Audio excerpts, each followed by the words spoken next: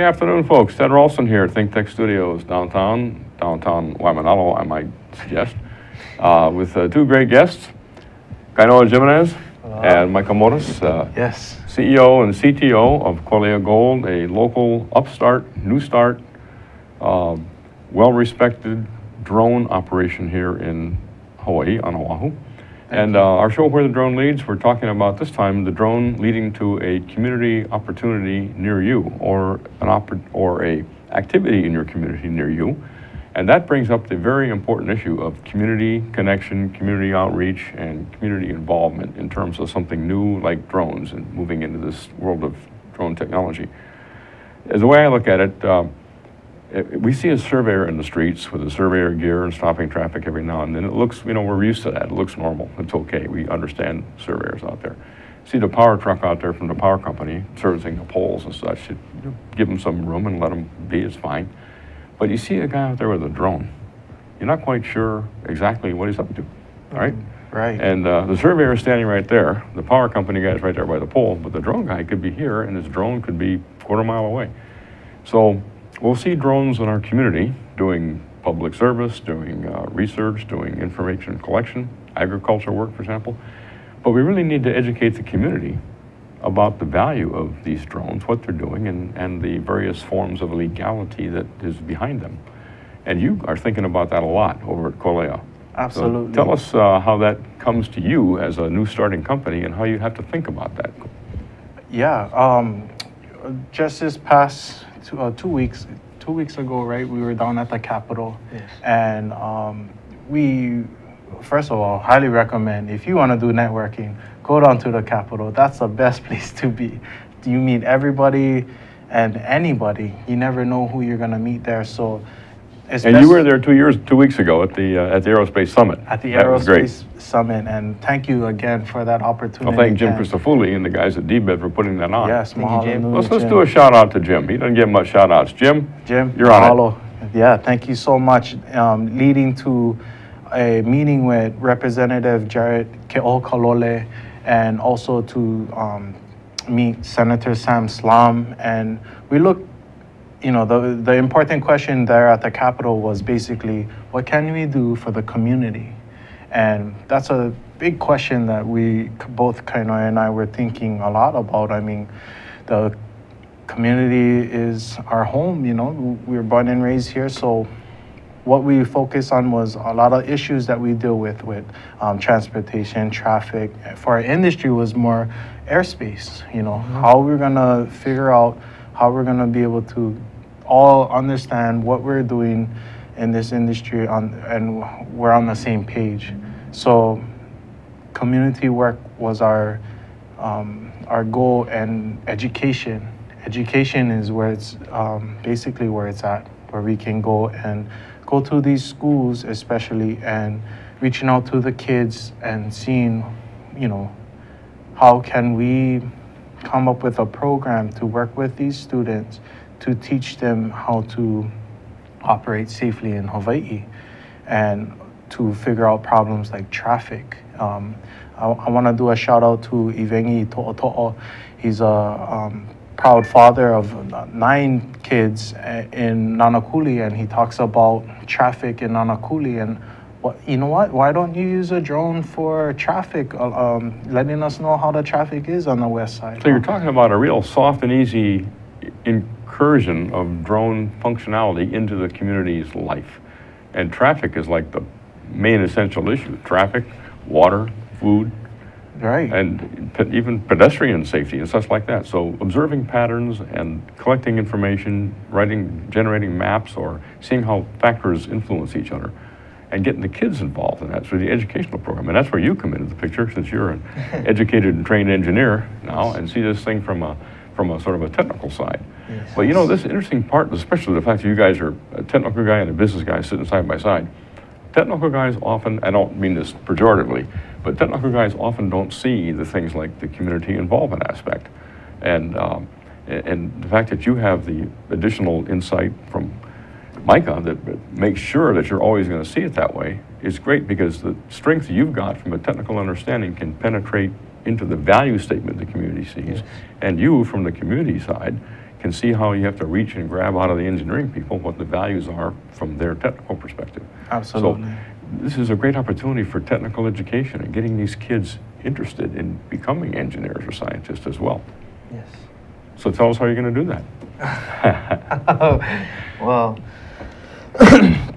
there's a few things that we could um, cover, but one thing that I would like to, I guess, involve the kids in would be how to design their own drone. Get get ideas of what every single kid, because every single kid that comes to that class probably has an interesting story. And a different story and, a different, idea. story, And a unique, exactly, and it's unique. And it's their own intellectual property that we want them to create.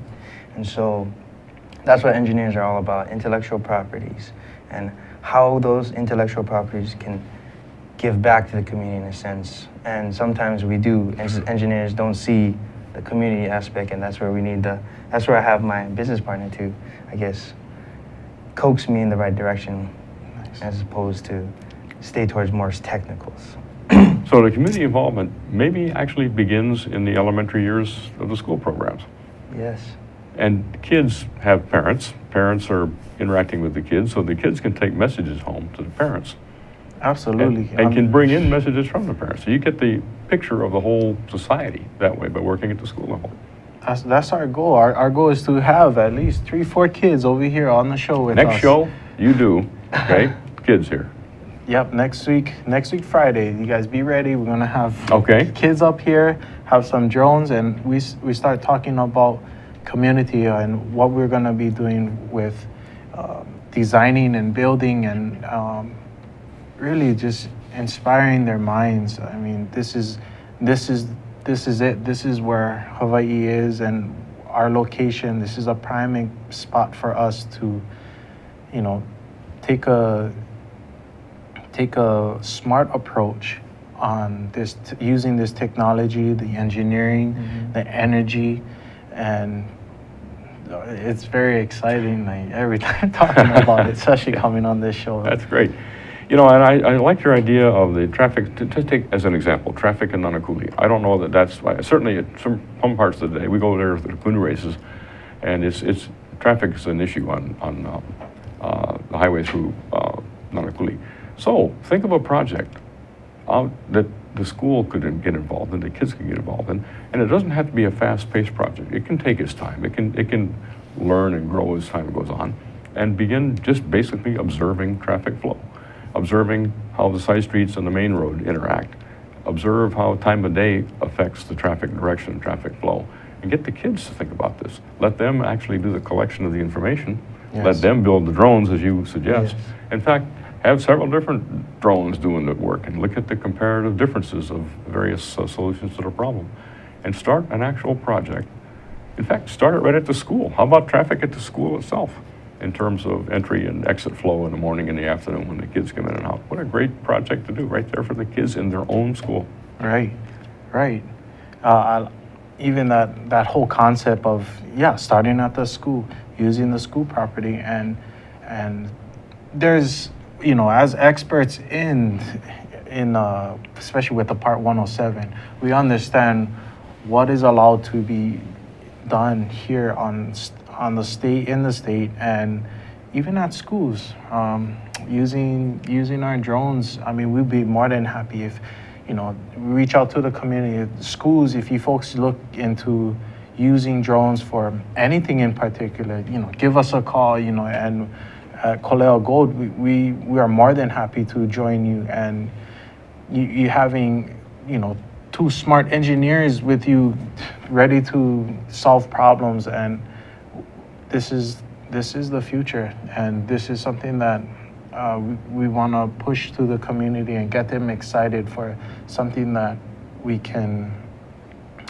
we can focus on. You know, uh, technology. You know, everybody's perspective on technology can be, you know, quite scary. You know, they they're not too sure what it's all about. But if if you have an imagination, you know, like to solve problems that we deal with, especially here in Hawaii. This is where we started here at home. let's use it. You know, we we had a Hawaiian compass that we would use to guide with stars to travel the world. You know, we would use tools to um, start fire. We knew how to. We would use tools to catch fish at our fish pond. We, we didn't even have to use a fishing line. We would just build a brick wall and have a, a fence and just have little fish come in, feed it, and then now they can't go out the fence. Dinner. You know, we knew how to use technology and utilize it. This is an opportunity for our community to use this technology to solve problems that And if we can take today. that very idea and, and get it into a, a, a document of some kind, it, it can become a chapter within the best practices of how to use drones in, in, in this state. And in fact, just sitting at this table last week was uh, Senator uh, Will Espero, 19th District, and we had a lot of, a lot of good conversations. But one of the ones he he reinforced over and over again to us, as he did at the, at the, at the Aerospace Summit, was, okay, you guys out there, the network that contains you and others, you're involved, you guys have the information. You tell us, the state, what we need to do to move forward. You help us put together an operating manual, so to speak, which would contain many chapters, one of which would be the community involvement. One could be with education, two of them we've talked about right here. Help me put together that, that operating manual, that standard operating procedure, and then, and then help him determine what legislation is needed, what directions are needed in, in budget and in, and in rulemaking to make this all come forth. And so what you're outlining is exactly what Will Espero asked for last week right here. So- Exactly. and, uh, so, um, I think we, uh, we have to talk about how we're going to structure that, and I have an immediate opportunity for you in Kaneohe, we'll talk about after we get back from our first break. Yes.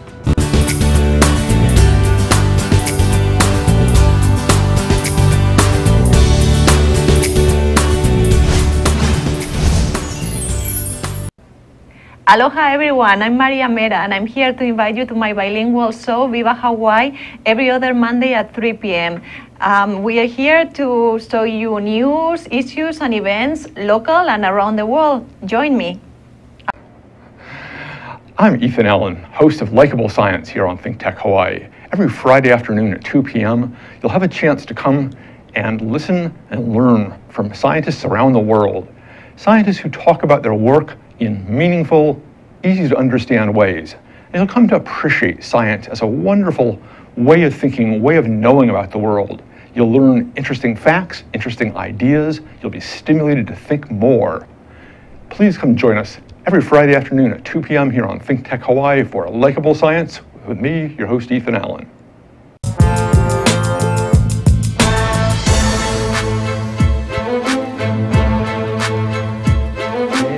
We are back live here, folks, Friday afternoon in um, downtown Waimanalo, overlooking Waimanalo Bay with uh, our great friends from Kolea Gold, who are about the third time you've been on this show now, and starting to become, Yes. feel like home, right? Feel like a glove that fits pretty well. Yeah, And I'm- maybe you can host the show sometime as soon as you're ready, right?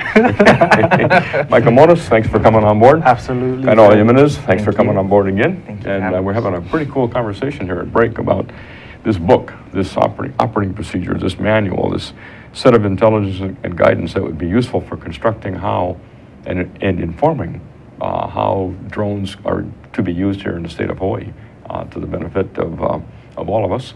And it would help a lot as straightening out understandings and straightening out uh, uh, determinations of how to make best use of something like this. You mentioned the Department of Transportation. We mentioned the film uh, office here. And uh, how about DNLR? How about the agriculture people? How about Department of Health? Yes. Uh, every one of them would have some thing they can find that's useful in there and some hesitation they've got because they don't have the information. So putting together this common operating manual would go a long way. And if we can get them involved in putting it together, and you've already started, we're talking about community involvement, talking about education. So um, just in our minds here, just think, think forward for a minute. Uh, we got to put this thing, we got to have, we got to generate eight and a half by 11 pages that have pictures and graphics and narrative in them. And we have to do it. So the best thing that we have right now is resources. There's a lot of experts in this industry, especially here in Hawaii, and Right here at this table with the two of you guys. us, yes, all three of us. Uh, uh, thank you. And the the main thing that we know, well, the plan is we got to get everybody all together, even if it's a computer in front of us. but we all sit down at a round table, have all of us sit down and start writing chapter one. Here we go. And we know for sure that chapter one is is this uh, understanding of what a drone is. You know, we in this roundtable, that's the most exciting thing too. Is that who's gonna be there? You know, we're gonna have us three. We're gonna have George, of course, George and Mike. I mean, they're experts as well. But more important, um, more importantly, is the community. It's all of us who's gonna be. There's no, you know, special. You know, why don't I, why don't we talk, talk about that for a moment? We're talking about chapters in a book that would be inclusive. Why don't we start with chapter zero being the community, even before chapter one?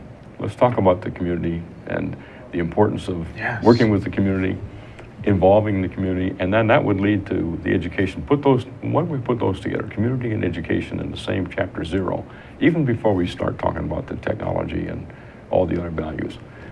You know, what goes back, goes through my mind, I think we might have talked last time a bit, there's a book called uh, The Painted Statue, which is, uh, was written about 10, 12 years ago, and it deals with the Kamehameha statue in Hawaii on the Big Island, which had to be, uh, re, it was, it was having some structural problems and some aging. And the question was, how do you restore this statue? Well, do you, re, do you restore it to the terms of the letters that uh, were written in the kingdom days when the statue was created, that what the statue is supposed to be? Or do you re- recreate it or refix it in the, in the image that the artist had who constructed it in the first place? Or do you reconstruct it in the way the community had adopted it and modified it over time? Which one is right? But the, an- the answer was the community had the answer. So instead of coming from a scientific perspective, the thing ran into all kinds of trouble, so I had to reverse and go from a community perspective. So I think over and over again, community first might be the, really, the way to approach this thing. And that might be a uniqueness that Hawaii has.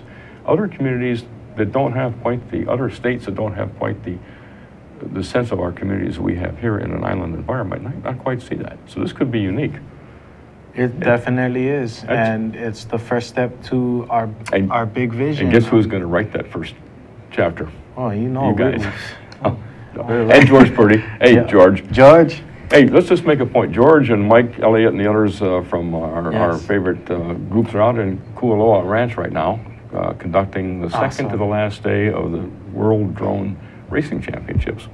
And uh, for the folks, folks in the public, that is open to the public. However, it's very tight on parking. It's a remote area, Kualoa Ranch. In fact, the Ka'a'awa Valley associated with Kualoa, hard to get to, and hard. There's not much parking there. So if people are heading out, they're thinking about heading out tomorrow. Think about going early, and think about maybe having to turn around in case the parking is full, because it is a very fragile environment and it can't tol- tolerate a lot of people. There's a lot of interest, but and, and this brings up another point. The interest out there, I was out there yesterday, and you guys are, I'm sure, going to be out there tomorrow.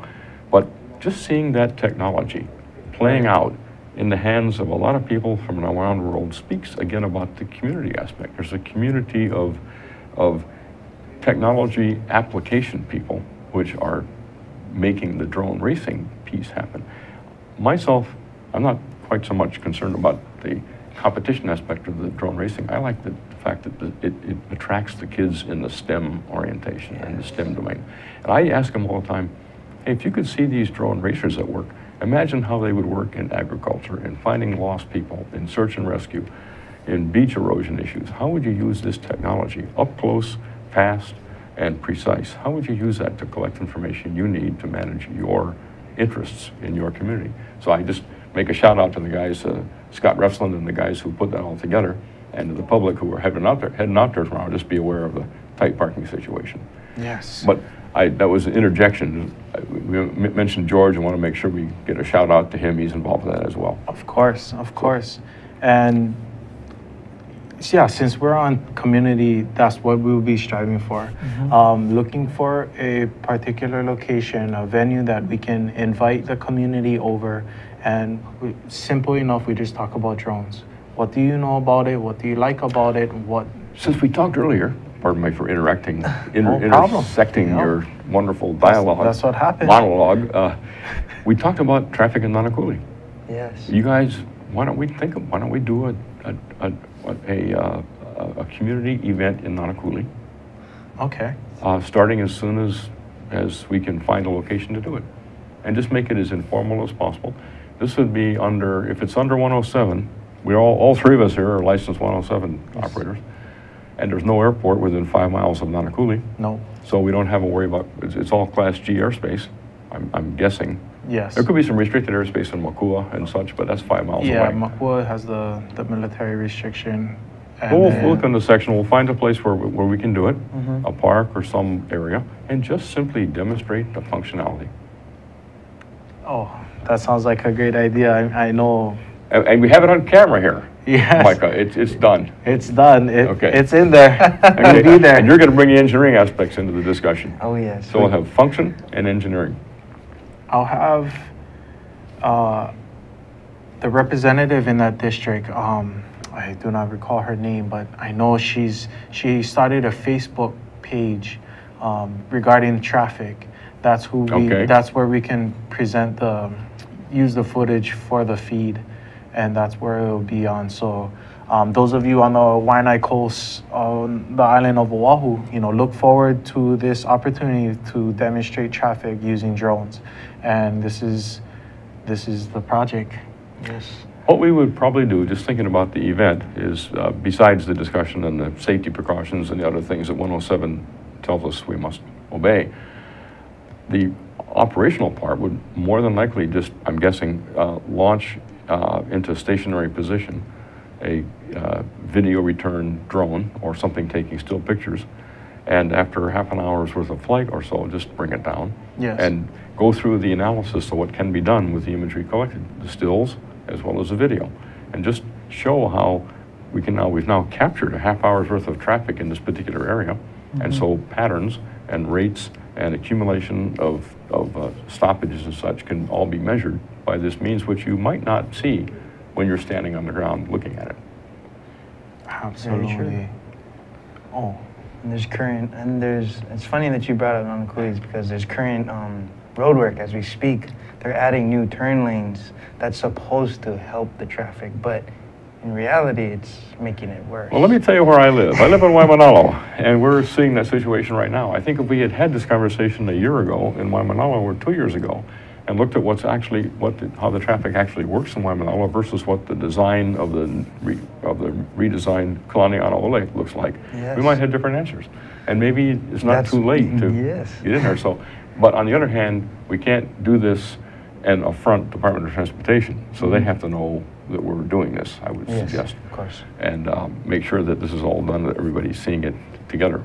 Yeah, we're having some serious issues in Waimanalo, and uh, um, this leads actually to other questions that, that again come back to community involvement. I wonder if the Nanakuli work on the, on the road was done with, with full community involvement. I can tell you that it was not done that way in Waimanalo.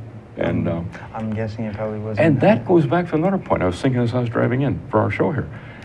Community involvement is a requirement, it's a checklist item on, on a, on a contract, we'll say.